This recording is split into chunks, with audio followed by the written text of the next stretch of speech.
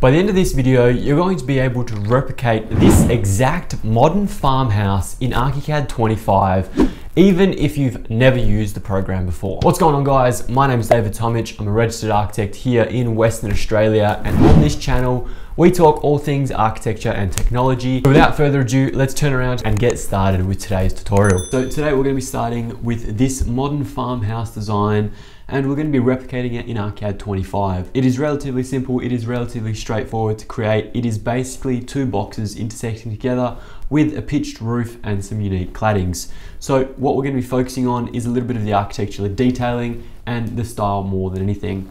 I'm going to go through a lot more of this cladding system in detail in my next video.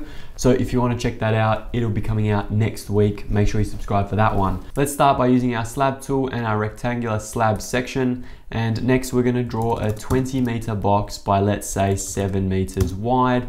Gives us a relatively nice shape.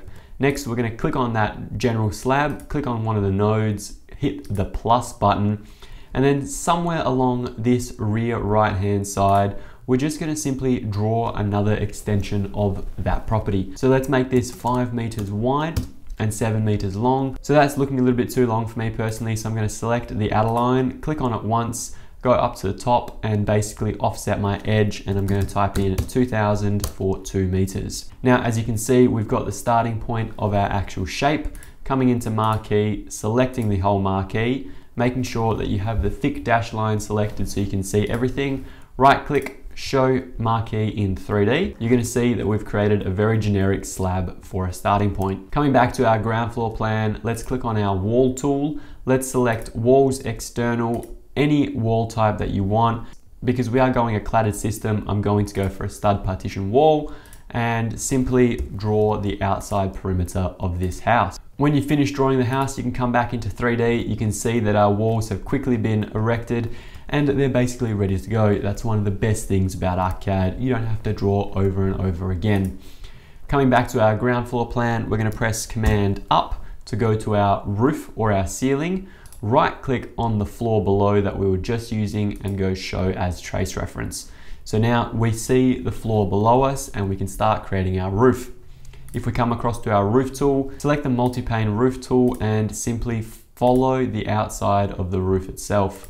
Once you finish that off, you're gonna see a very generic roof structure, which isn't at all what we want. So what we're gonna do is right click on that roof and go split into single pane roofs. It's gonna come up with a little bit of a warning we're going to split anyway. Next, we're going to click Alt G or Option G, depending on your system, and we're going to delete these three sections here by simply clicking on them and deleting. Next, we're going to select two of these roof panes, select one of the hot nodes and click on our adjustment tool hold shift so it aligns and make our first gable. Now I'm gonna repeat that with the other two remaining sides as well. And there we go. Now we have our three gable roofs coming into our 3D.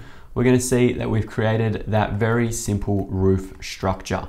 What I can tell straight away is that roof structure is way too low.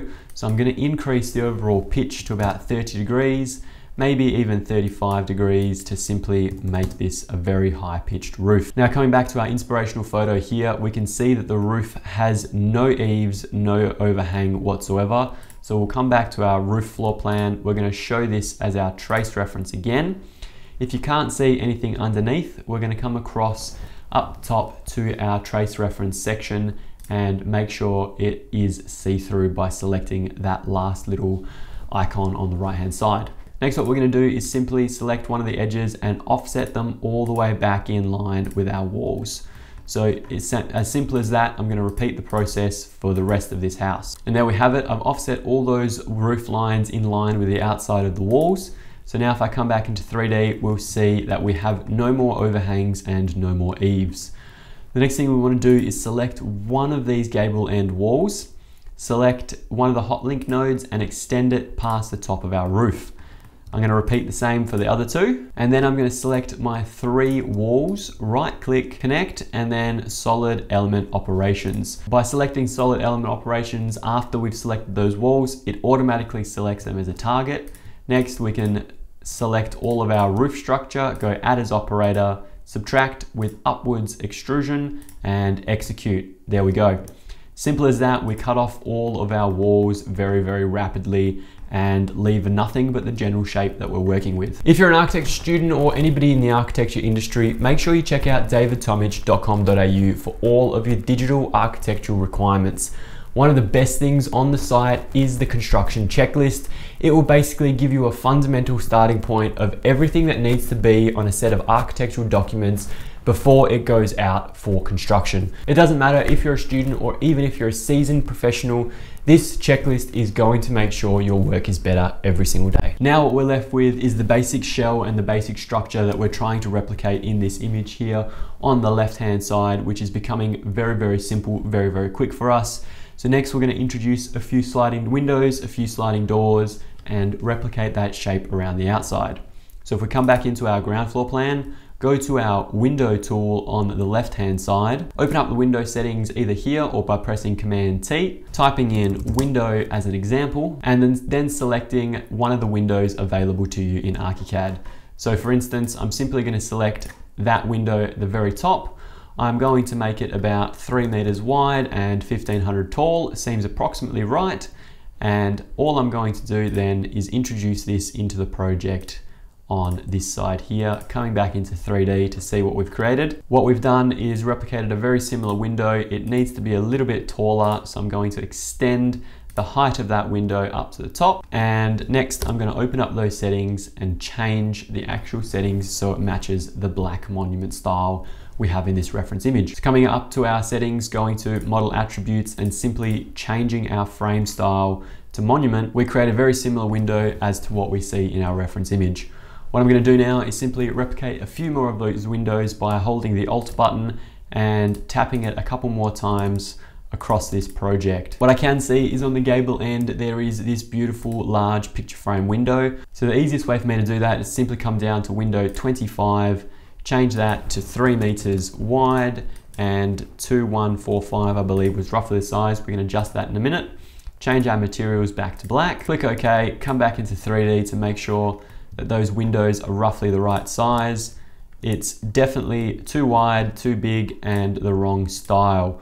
So what I'll do is adjust it to the right height, make sure the levels match, and then I'm gonna reduce the width by about a meter because I think it's too big. Last but not least, I'm just gonna open up those settings and make sure that it is a fixed window rather than a side hung. So fixed glass, okay. And there we go, we have our large picture frame window. Looking at this image here, it looks like these windows are significantly larger. So I'm just gonna drag them out all the way to the bottom and I'm gonna make one of these a sliding door rather than a sliding window. Now we have the fundamental basics of this entire project. What we don't have is the cladding system and the roof system, which makes this project stand out and look so incredible. So the easiest and truly the easiest way to do this is by using CI tools coverings which I'm going to go into in a lot more detail in the next project.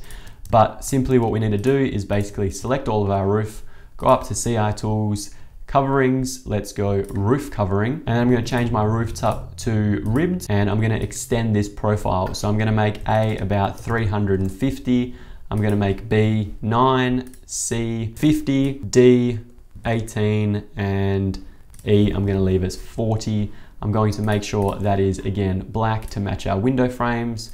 Click OK and what you'll see is an amazing roof structure automatically created by ArchiCAD. To go into even more detail, if we come back into our ground floor plan, we're gonna see that roof structure appear.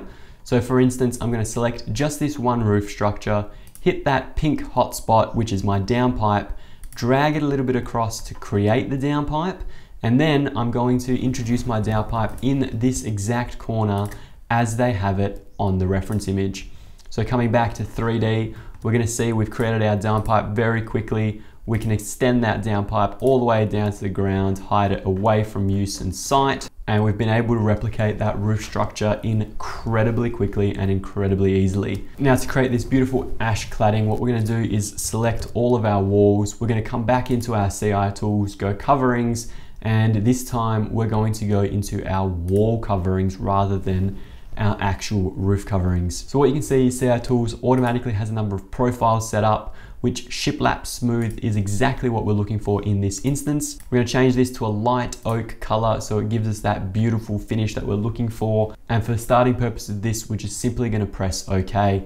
Then it's gonna ask us, do we wanna put it on the inside or the outside of the wall? Obviously the outside. Clicking once, we're gonna see that completed wood structure. Now, obviously that cladding is way too dark in comparison to what we're looking at in the image. So we could obviously go in and click all of our wall cladding, open up the settings and find a better surface override, a nicer, lighter color. Now, I don't have one personally on file, but it's very easy and very quick to replicate something else. For instance, we could even use something like a paint White Haven, which would give us that light oak ash color that we're looking for, even though there's little to no wood grain available on that surface now. Now what you'll notice is the trim basically has also come out in monuments. So if we open up those settings, we can go through all of these settings and change individual trims piece by piece, or we can simply override that entire surface, go to Whitehaven, click OK, and get that nice timber trim that we see in our reference image as well. That's all from me. My name is David Tomic. I'll see you next time.